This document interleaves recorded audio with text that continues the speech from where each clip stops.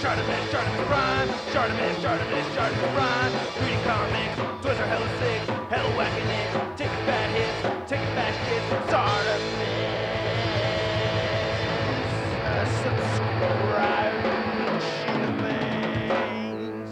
Hey, what's up, you guys? Shartimus Prime here, doing another Marvel Legends action figure review on the Marvel Legends House of X Powers of 10 Tri Sentinel Build a Figure Waves Moira McTaggart.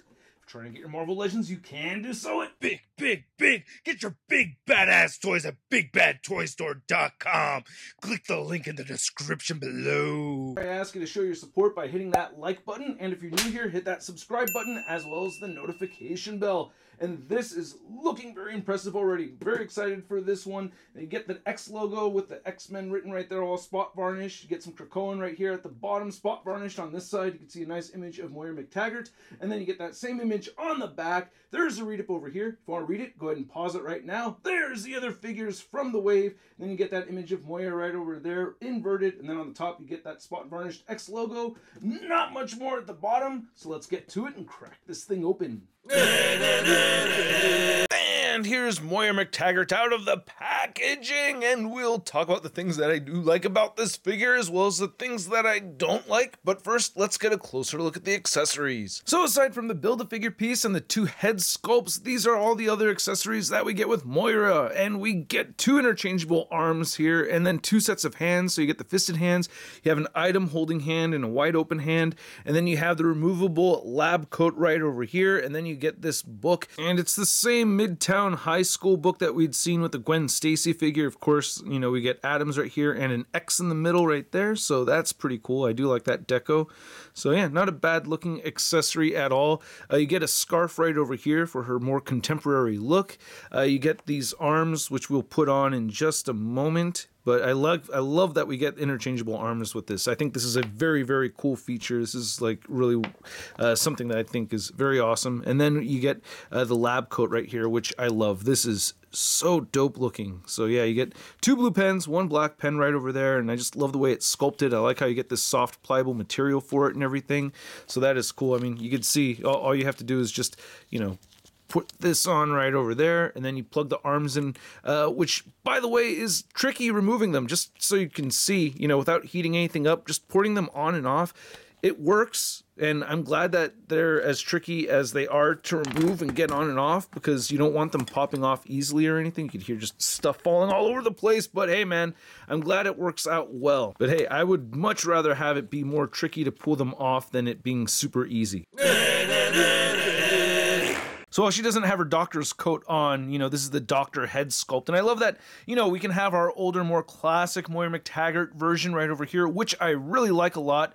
But you could also have your House of X version, uh, which is cool looking, but and just you know, from reading that storyline, I'm just kind of confused as far as like what she just dies and then comes back and everything is reset. I think that's kind of how it works because just recently she's gotten mutant powers, reincarnation powers. I don't know. Someone explain it to me a little bit better in the comment section, but yeah, she could just like retry by dying and coming back and somehow finding her place where she left off, uh, which is in a park meeting uh, Charles. So anyway, looking at this Doctor Head sculpt though, I really like. I mean, either way she's a doctor, right? But I just love this. The glasses, I like how there's a little bit of milkiness to the plastic right there, and you can see her eyes looking off to the left just a little bit. The paint for the mouth looks very clean.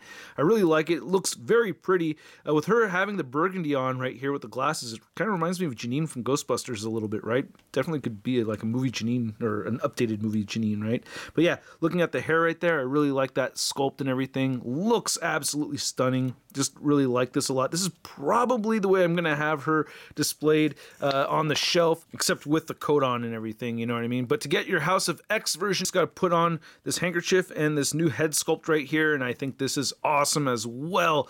I like how pretty it looks. There is a little bit of a misfire here with the smile though. Like she's smiling, but it looks like the sculpt isn't smiling. You can see right there that the way those edges on her mouth look, maybe the lips are upside down or something. I don't know, but yeah, the paint and the sculpt are not matching right there. The eyes look really good though, right? Even though it looks like she kind of just had an edible or something. I don't know, but the hair looks really good on this side, and I like how the hat looks and everything. So that is dope. I like that, and it's soft right here, so you don't have to worry about that breaking. And then this whole scarf and everything looks nice, and it's the Gwen Stacy body mold that we saw from the Spider-Man Vintage Collection right here. So all the same parts and everything, which is fantastic. I love the sculpted detail that you can see through the fabric, and then you get these beautiful legs right over here, nice slit on the side, so you can move it around. So that's really cool. I do like that they went with the softer material, and then yeah, I like the legs that are sculpted right here. Look really nice. I like that a lot. And we get the new shoes, which they also used for Marvel Girl, which I wish they didn't do, but it looks great right here on the Moira McTaggart. Yeah, there's the peg holes at the bottom of the feet. Oh, and they put the serial number on the inside of the thigh over here. Cochinos, making us look on the inside of the leg on the female figure. Anyway, you can't move the head up that far, even with all that hair over there, and you can move the head downward, and they'll shift forward and back like a pile driver. You can see the length of the hair is about the same, so you get the same range of motion. Of course, you can turn side to side, a little, little bit of head tilting. Shoulders will move outward, down, rotate a full 360. You get a single jointed elbow, rotates at the elbow. Uh, same deal with the doctor's coat version arms right over there. And then all the wrists turn side to side and hinge up and down. Of course, you can interchange the wrist between the arms. You get the diaphragm joint, diaphragm pivot, crunches forward a tiny bit, crunches back that much and you can rotate side to side, of course. Uh, you can get this right leg just moving outward that far, but the left leg will only move away that much. She'll kick forward that much with this side. Wow, that's nice. And then, but only that far with this side and move back only a little bit on both sides right there. And then you get an upper thigh cut, double jointed knees, and then the ankles do move down, up, and she has a beautiful ankle pivot that kind of does move at a weird angle. It's like a little bit more on the side to side range than that full ankle pivot. So she's a little tricky to stand. It's it could be frustrating. Now to measure out this Moira figure, you can see that she is standing right at about the six inch mark. Then for a quick size comparison, here's our deluxe Professor X next to the Moira McTaggart right over here. And then here's Moira McTaggart next to the Gwen Stacy from the Spider-Man Vintage Collection wave. And yeah, you can see a lot of reused parts over here. Of course, though, that they do have the different jackets and everything. And I wanted to try some head swaps over here. Uh, not a whole ton, just a couple of head swaps really quick. I just really wanted to see how Gwen Stacy would look with this outfit right here. Eh, it looks okay, I guess. I don't know, a little bit weird. Here's the Moira head on the Gwen Stacy body. Then here's the other Moira head on the MJ body.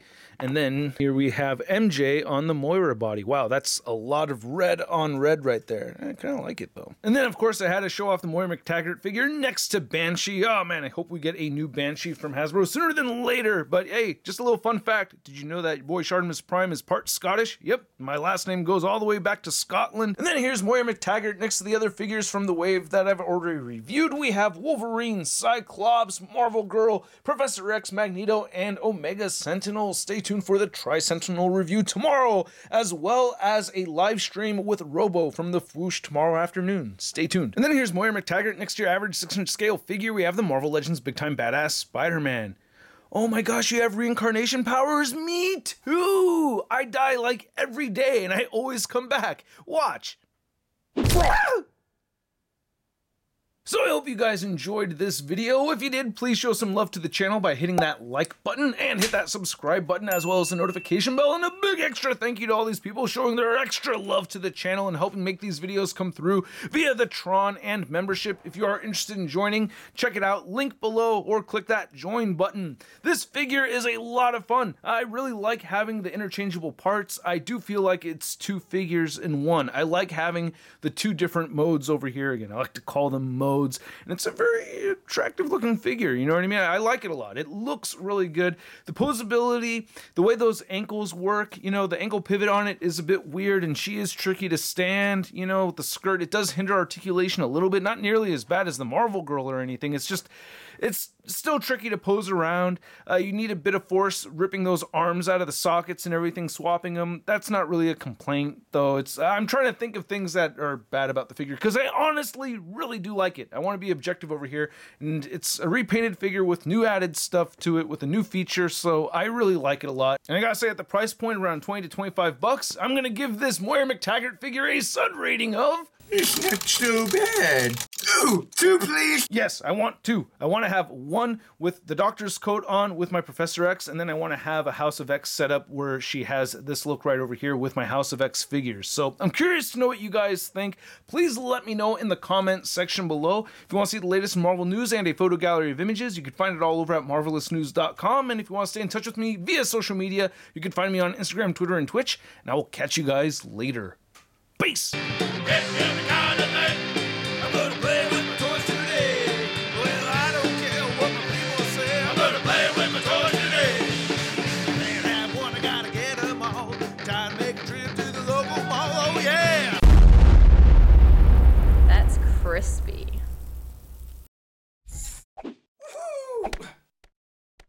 Hey, new Shartimus Prime videos. Hey, you should click one. Click on one of them. Or subscribe if you haven't.